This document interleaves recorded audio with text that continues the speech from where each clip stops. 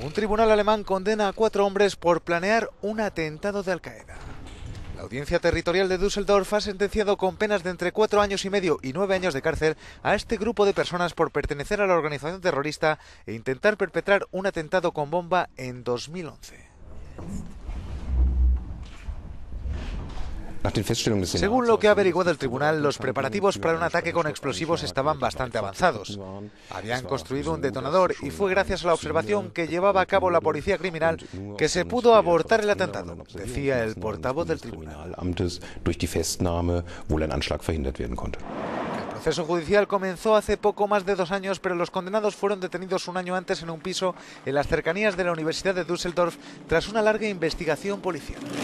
Las fuerzas de seguridad fueron alertadas en noviembre de 2010 de que en Alemania cuatro hombres de Al-Qaeda planeaban atentar en el país.